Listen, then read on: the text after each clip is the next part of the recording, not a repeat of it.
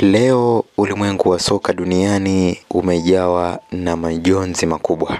Gwiji wa soka wa Brazil Pele, ambaye bila shaka ndiye mchezaji bora zaidi hakuwahi kutokea, amefariki dunia akiwa na umri wa miaka 82.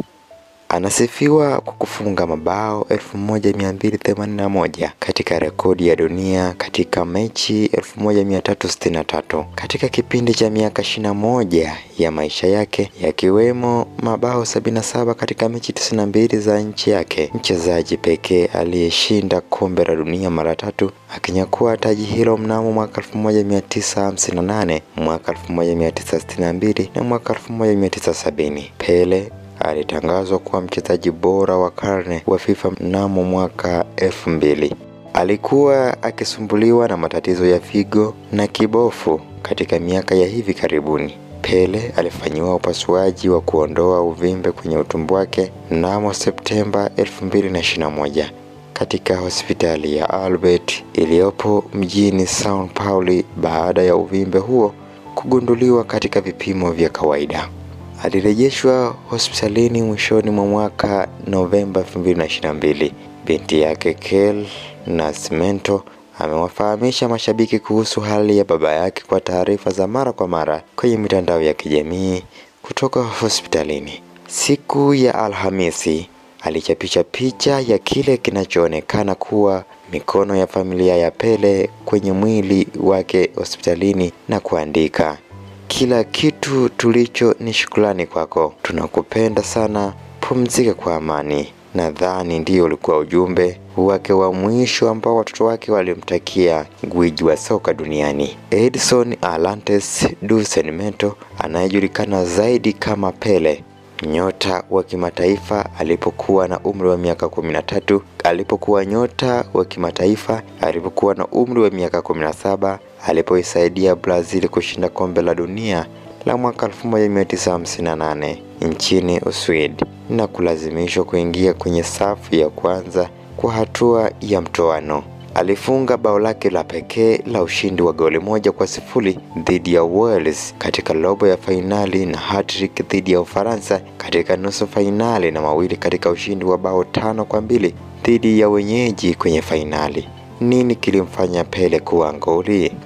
Alifunga mabao 1281 katika michezo 1363. Alicheza mechi 14 kwenye fainali la kombe la dunia akifunga mabao 12 pekee. Alifunga mabao 126 mwaka 1959 pekee, mchezaji duniani na kushinda kombe la dunia mara tatu. Pele alikuwa amecheza mechi yake ya kwanza katika klabu ya Santos miaka miwili iliyopita akiwa na umri wa miaka 15 akifunga bao katika ushindi wa goli saba kwa moja dhidi ya Costa de Santos Adre.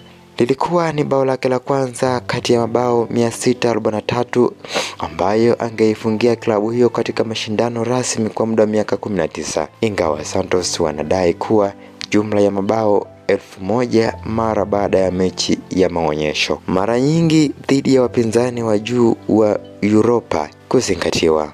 Katika kombe la dunia la mwaka 1962 Pele ambaye wakati huo alikuwa na umri wa miaka 21 alifunga bao zuri la kibinafsi katika ushindi wa goli mbili kwa sifuri dhidi ya Mexico na kufunga ushindi wao, lakini alijeruhiwa katika mechi iliyofuata na kutazama nje wakati timu yake ikitetea ubingwa huo. Sehemu ya mwisho ya utatu wake wa ushindi wa kombe la dunia ilikuwa ya kipekee kwake baada ya kufanyiwa madhambi nje ya michuano ya mwaka 1966 nchini Uingereza. Alikuwa kinara wa timu ya washambuliaji yenye kusisimua ambayo ilifanikiwa kutoa ubingwa mwaka 1970 akifunga bao la kwanza katika ushindi wa goli nne kwa moja dhidi ya Italia kwenye fainali.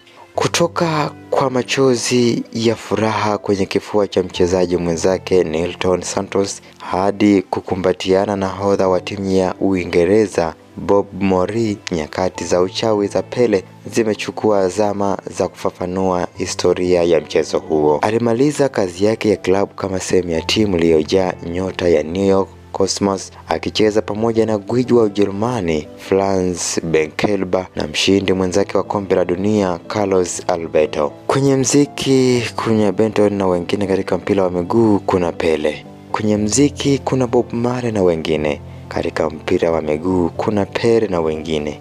Nimalize kwa kusema alikuwa gwiji na ni mfano kwa vijana waliotamani kuwa kama yeye kwenye ulimwengu huu wa soka. Raha ya milele umpe Bwana na mwanga wa milele uangazie, astarehe kwa amani. Amina. Nilikuwa nikikusomea makala hii, ni mimi Mario Elias Mgimba wa Cocktail.